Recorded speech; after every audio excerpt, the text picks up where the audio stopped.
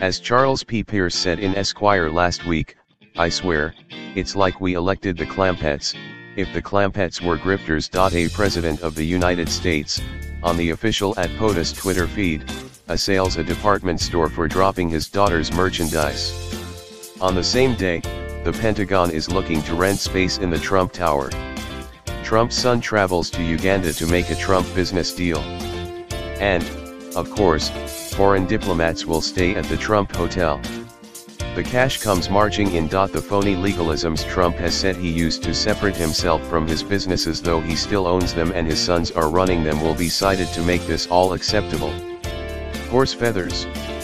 No ethical expert could say with a straight face that this is not a classic conflict of interest. In any time except our post-factual era, no office holder, much less the president, could get away with any one of the dozens of dazzlingly illegal things Trump has already done. They would forfeit office immediately. The leader of the band of Mad Hatters occupying the White House has already insulted allied world leaders, issued illegal and badly written orders, impugned a so-called judge appointed by his own party, and appointed the least qualified cabinet ever.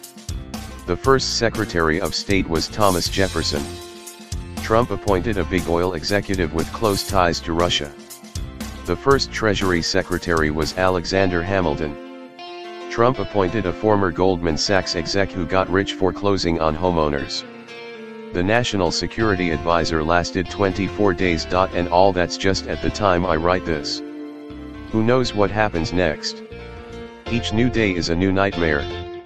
We are still trying to digest one breathtaking assault on America when another is signed, issued, or tweeted. All this amid constant lies. Constant. Lies. Trump delivers the death blow to ethics, Ross K. Baker Democrats have a viable path forward, Guy Cecil I am a lifelong Republican. I voted for every Republican presidential candidate from 1968 to 2004.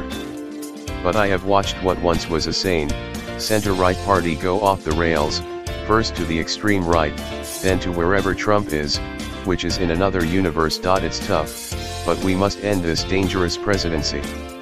Trump must be impeached and removed with all haste.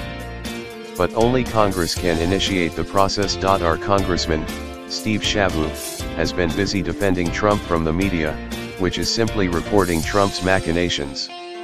It's time for him to man up and start drafting the articles of impeachment.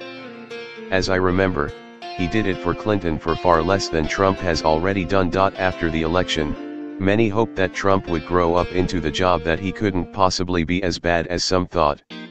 Well, it's gone the other way. The bully has become a more entitled bully. Anyone disagreeing is attacked.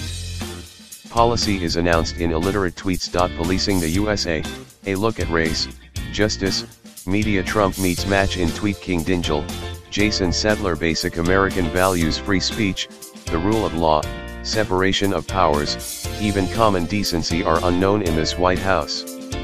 We now have a president who has no concept of separation of powers, or why we have three branches of government. If he knew anything about the Constitution, he would know the framers envisioned just the situation we have now a would-be dictator. They provided checks and balances such as an independent judiciary to protect us from presidential tyranny. Enabling a bully is always a mistake.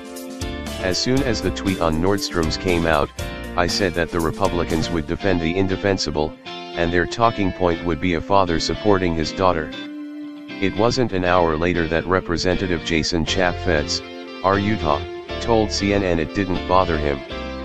But even Chaffetz had to choke when Kellyanne Conway urged people to buy Ivanka Trump's shoes. All the above bothers me and should appall all Americans. We must admit we have elected a president who has immediately proved himself to be a grifter, a pathological liar, a mean-spirited bully and dangerous to American values. This not ready for prime time show is too dangerous to continue. America is at stake. If you need help drafting those articles of impeachment, Steve, I am available.